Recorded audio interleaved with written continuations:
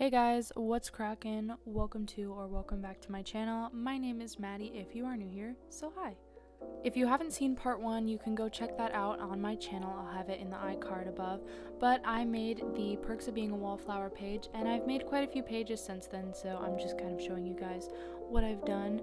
And if you're new here and this is your first time seeing one of my film journal videos, hi! I've gotten a lot of requests for a part two, so here we go.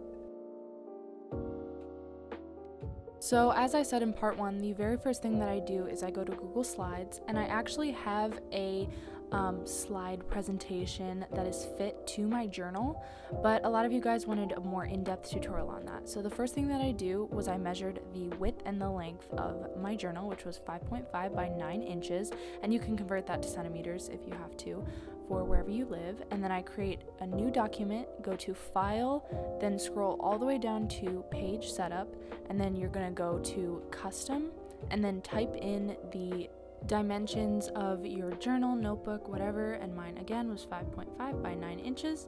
And then you're just gonna go to create a new text box that is the size of the page, and then I use crimson text, size 15 usually, and then you can begin typing and I just typed out subscribe because you should subscribe. Once I have that and I'm ready to go, I make a copy of the last page that I made just so everything's still intact, and then I usually go to IMDb or another information page to find the director and just other information I might need, and then I write a synopsis, a review, and then film techniques that I think the film used to get the story or the message across.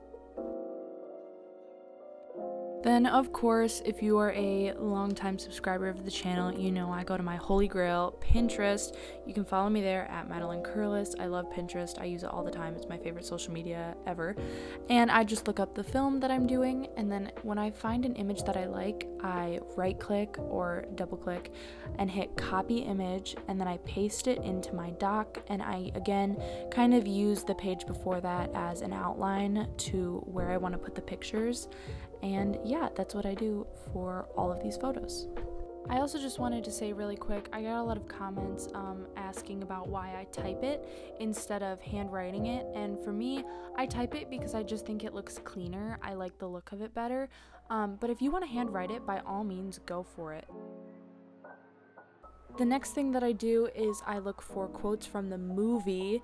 Last time, uh, somebody pointed out that I accidentally used the book quotes, which I did not mean to, but I look for quotes from the movie.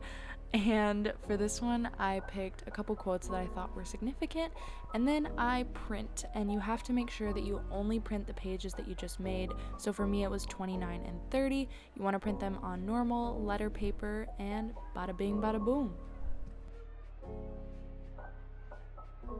Once they're done printing, I then just cut out what I need. Sometimes I cut the pictures a little bit shorter than what I originally thought just so they fit better onto the page. So while I'm finishing cutting everything out and gluing things down, I thought I'd give you guys a little bit more of a summary about the movie.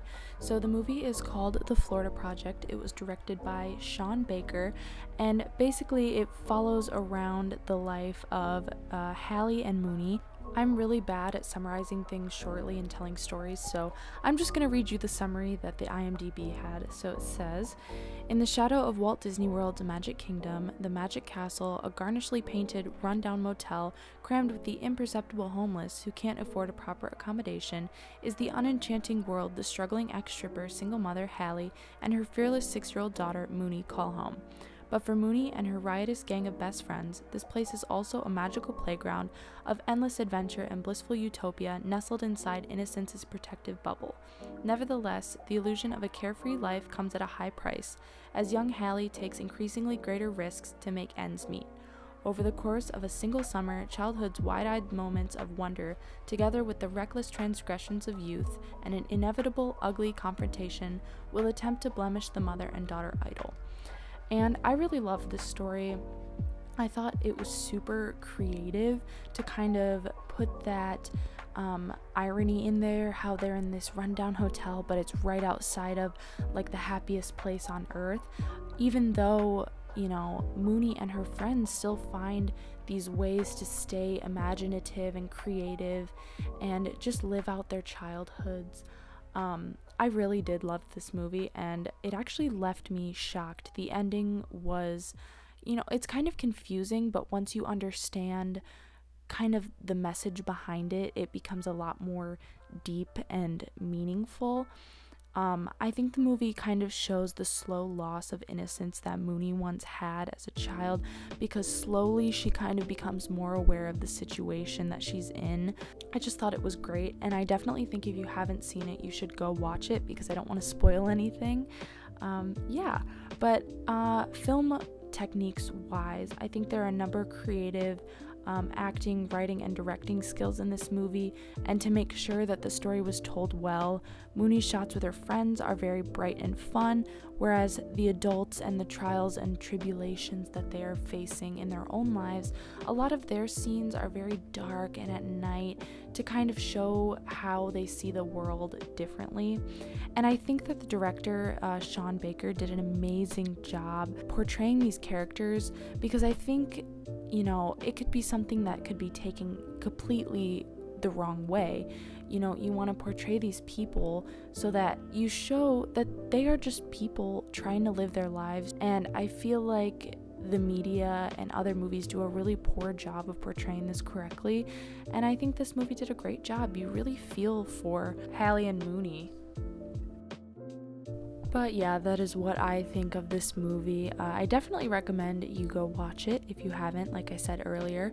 Um, but yeah, let me know in the comments down below what you guys thought about this movie.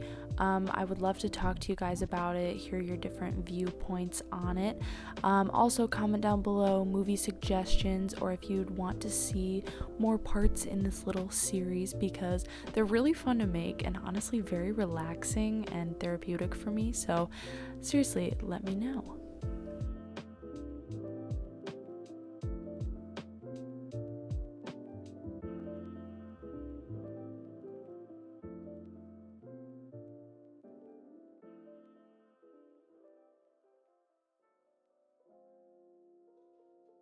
So this is the final product of the page that we just made.